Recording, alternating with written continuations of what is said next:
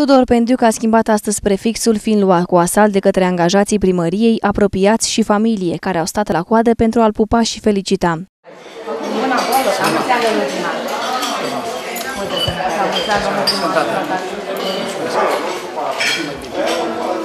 Să treci.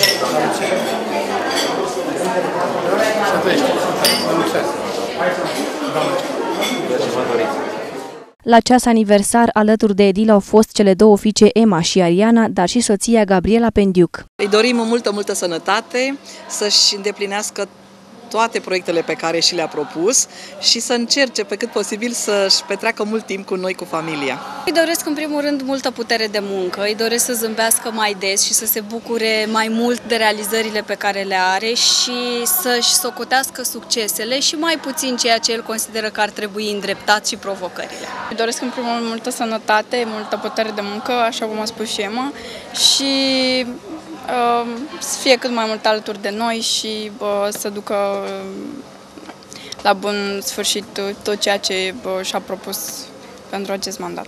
Este o vârstă a bilanțului, dar o vârstă a proiectelor a deplinii maturității a proiectelor, proiecte personale, proiecte pentru comunitate și